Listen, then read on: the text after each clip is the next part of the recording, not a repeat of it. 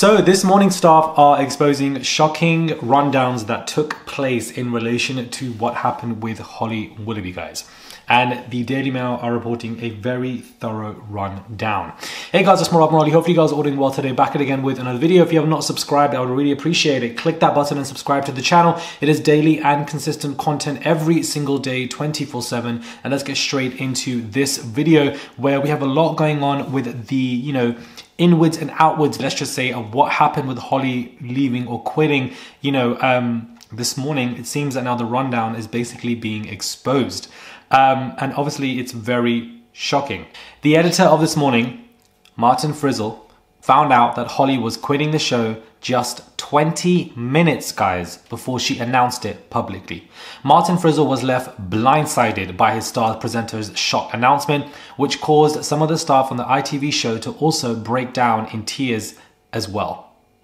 According to the Mail on Sunday, Holly turned to ITV's head of daytime output, Emma Gormley, over both the alleged plot against her as well as her feature on the show. In fact, despite Martin pinning his colours to Holly's mast during the fallout with Philip, a long standing friend of Holly's as well, the television veteran only found out 20 minutes before the world did. The former GMTV editor Martin had received an unexpected phone call shortly before 5 pm on Tuesday in which he was told his greatest asset was about to quit. He had also learned she had prepared an emotional statement in which she was about to reveal to the world. Martin, usually unflappable according to his colleagues, was actually very stunned. He had been assured Holly was going to stay on, especially because she just signed a new contract which saw her annual pay increase from 700k to around 1 million per year. Yet all of his devoted attention appeared to count for nothing. Despite Martin's loyalty to Holly, he wasn't in her inner sanctum when it really, really mattered. He sided with her throughout the difficulties with Philip Schofield, and besides, it's his show. But instead, Holly went around him rather than to him, behind his back. Martin always spoke so highly of Holly, he adored her and she was extremely loyal. It's the talk of ITV that he was told so late on. It doesn't exactly seem very respectful. What a way to treat an editor. Meanwhile, Holly's announcement also caused a huge ruckus behind this, the show. People were on the verge of tears, people were extremely emotionally exhausted and upset upon hearing this news. They weren't upset because of Holly leaving, however but it was the fact that it was the latest bit of drama to happen on the set of the daytime show and the fact that nobody had also told them as well. It's been one thing after another, as Saul said. It's like a soap opera, and that's okay if you're one of the highly paid stars like Holly getting chauffeured to work and back. But if you're grafting behind the scenes to keep things afloat, it's incredibly frustrating.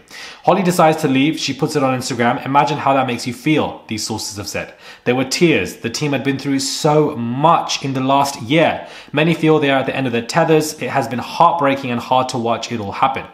That word all refers to the seemingly endless controversies that have engulfed this morning in the past year. From the queue jumping incident to when the Queen was laying in the Westminster Hall, and then, you know, the recent accusations of what Philip had gone through with a much younger male. Staff had also endured the pressure of being quizzed by external lawyer Jane Mulcahy KC about the alleged toxic working culture on the program brought on by the Philip Schofield, you know, scandal and everything that took place when it came to that.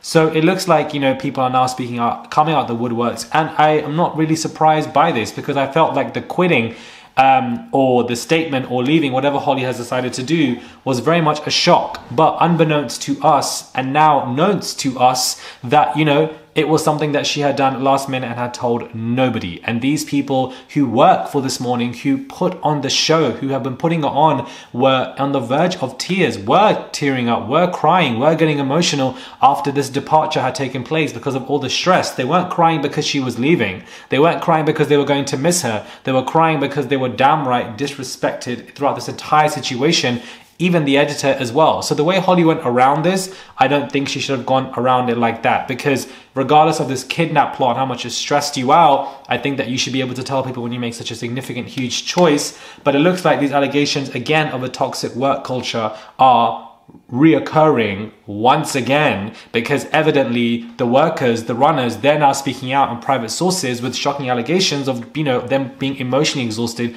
crying, being fed to the wolves, not being told anything, being discarded. Yet again, they're speaking out because multiple articles are discussing this all in relation to Holly Willoughby. So I'm not surprised by this. That's the only thing that I'm going to say because it all just seemed odd.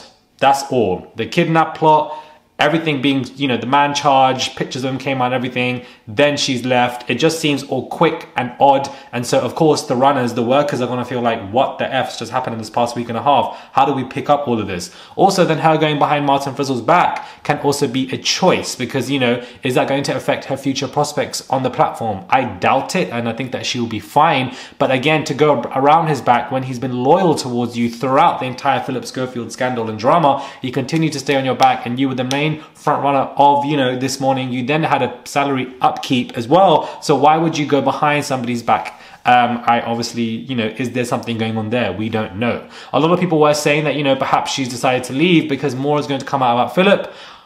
I don't know about that to be honest with you because it would have come out by now. I feel I feel like everything that we know about Philip Schofield has already come out. I don't know what else could be hiding that could be so huge when it comes to Philip that has yet to come out to be honest with you, I just don't know. Anyways, let me know your thoughts are when it comes to this video. Subscribe to the channel, click that button for daily and consistent content. Subscribe, I would appreciate it. It's just one click, guys. Do subscribe to the channel, and let's get and I'll catch you guys soon for another video.